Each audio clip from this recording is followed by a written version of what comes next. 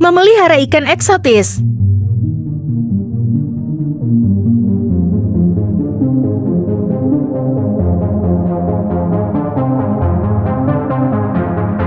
Ikan eksotis adalah ikan yang memiliki daya tarik khas karena belum banyak diketahui secara umum.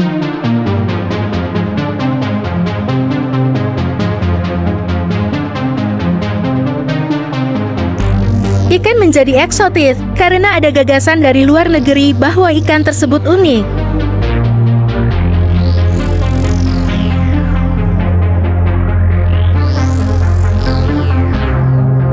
Ikan cana termasuk ikan eksotis.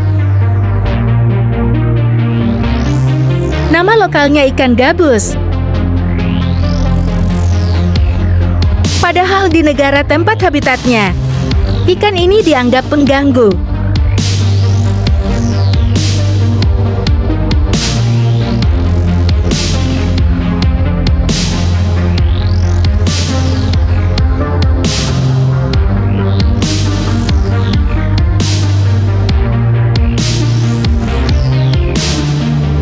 Memelihara ikan eksotis ini perlu kehati-hatian.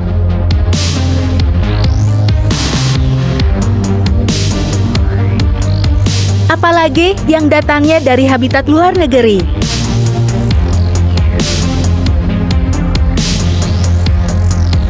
Ikan sapu-sapu adalah ikan eksotis beberapa puluh tahun lalu.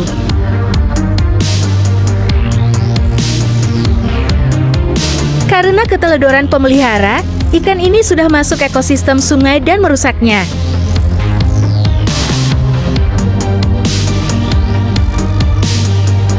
Ikan eksotis tempatnya adalah di akuarium. Jangan dilepas secara bebas di sungai.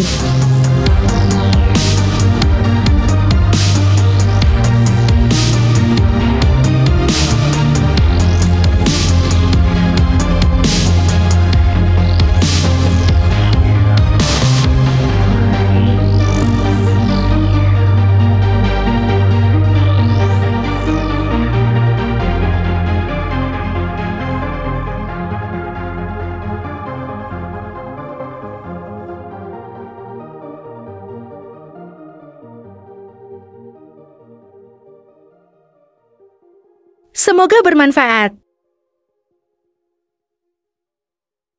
Sekian dan terima kasih.